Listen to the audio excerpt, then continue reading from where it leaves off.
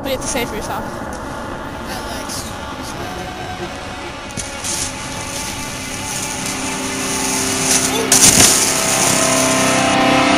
Fight!